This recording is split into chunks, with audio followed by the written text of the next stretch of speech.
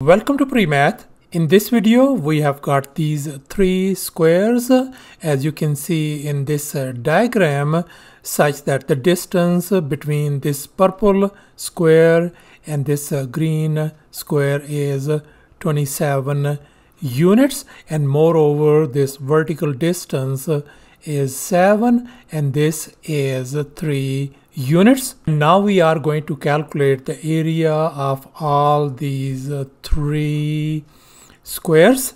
Please don't forget to give a thumbs up and subscribe. Let's go ahead and get started. And here's our very first step. Let's focus on this purple and green squares first. And now let's assume the side length of this purple square is x units.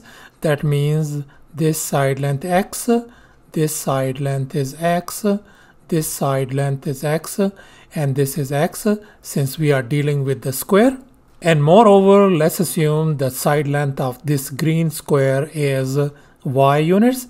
That means this side is y, this side is y, this is y, and this is y as well. Now we can see the distance from here to here.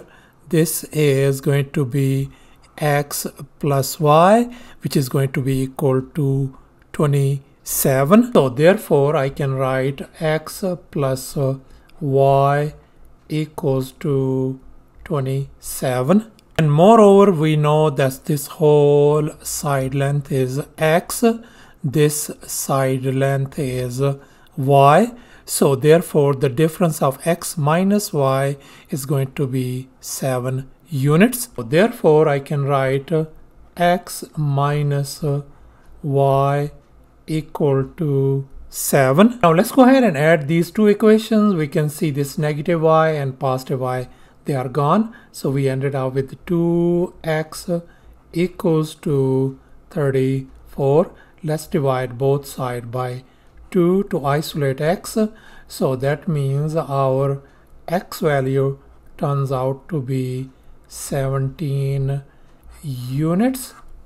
Now in this next step, I have just copied down this very first equation, x plus y equals to 27 and we know our x value is 17 so I'm going to replace this x by 17 so therefore I can write 17 plus y equal to 27 let's subtract 17 from both sides. This is gone. So our y value turns out to be 10 units. Now we can see that the side length of this uh, purple square turns out to be 17 units. So I'm going to replace this x by 17 17 17 and 17 over here.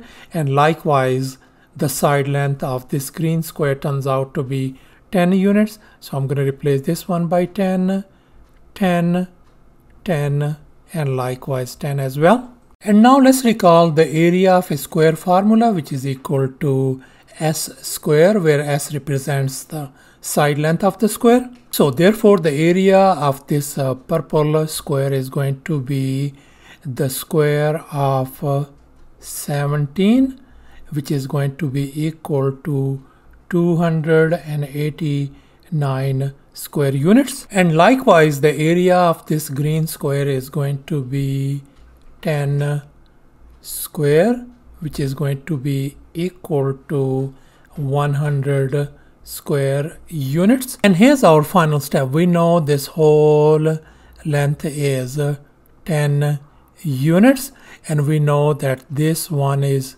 3 so this uh, side length has got to be 10 minus 3 is going to be 7 units. So therefore the side length of this uh, yellow square turns out to be 7 units uh, each. So therefore the area of this uh, yellow square turns out to be 7 square which is going to be equal to 49 square units. So thus the area of this uh, purple square turns out to be 289 square units.